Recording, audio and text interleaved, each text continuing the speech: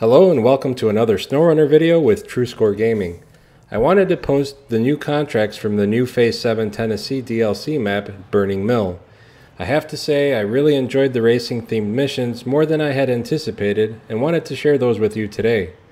At first I was a little skeptical and disappointed for only one map being released and didn't really care for the racing theme, but as I played through the first set of contracts I began to really enjoy the new map. Don't get me wrong, I still find the delay and the bugs that still exist unacceptable, but I do appreciate the direction they tried to go in to switch things up.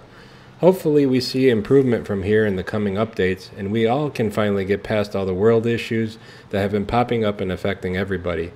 You all know what I'm talking about, and I'm not going to go into detail, but while playing through this content, this update helped me forget about all the real life issues, if only for a brief moment of time. So I hope you enjoy Qualification Race and The Ring, both of which I did on the first take.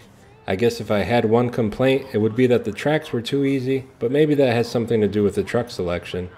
I am driving the GMC Brigadier 8000, which up to this point I hadn't driven at all.